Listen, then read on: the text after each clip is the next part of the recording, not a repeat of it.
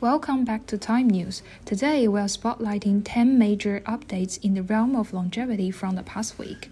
1. The study published on aging explored how parental age influences lifespan in nematodes and fruit flies.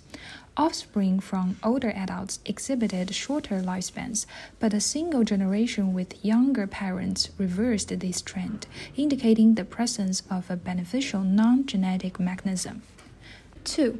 After testing 130 participants, the study found that hearing impairment is linked to alterations in brain regions that are tied to auditory processing and attentional control.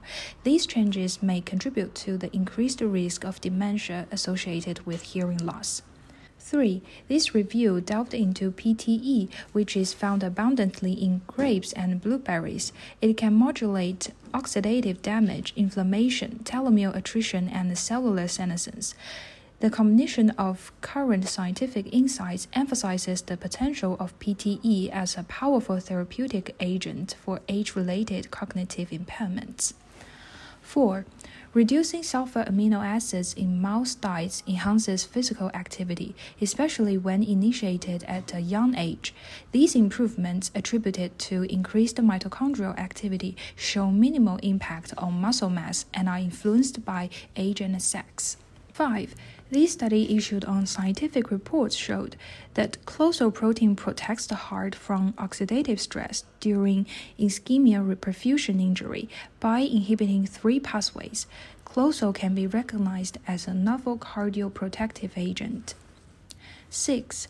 After examining over 13,000 adults, the study reviewed age related variations in blood pressure.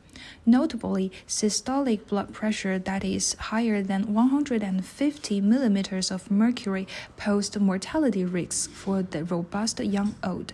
It highlights the importance of tailored guidelines for different age groups based on frailty and blood pressure levels. 7. Scientists found that hypertension accelerates brain aging by raising Mg levels, leading to the accumulation of neurodegenerative markers. Fortunately, treatment with NAC mitigates aging process, reducing AGE's generation, neuroinflammation, and oxidative damage in hypertensive brains. 8. On the wake of metformin, this study highlights the potential of SGLT2 inhibitors, typically used for diabetes as anti aging drugs, by influencing key aging related pathways.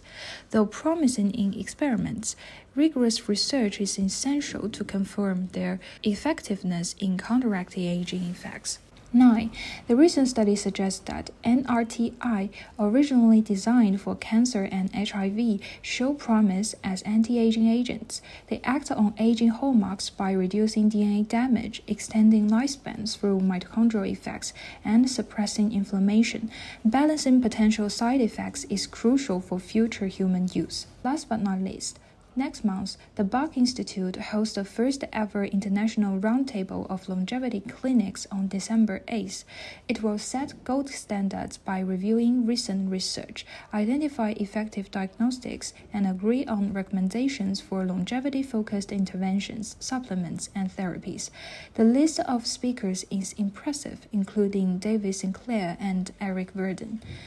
Today's edition of Time News comes to a close. If you enjoy it, please like and subscribe. Stay tuned next week for more updates.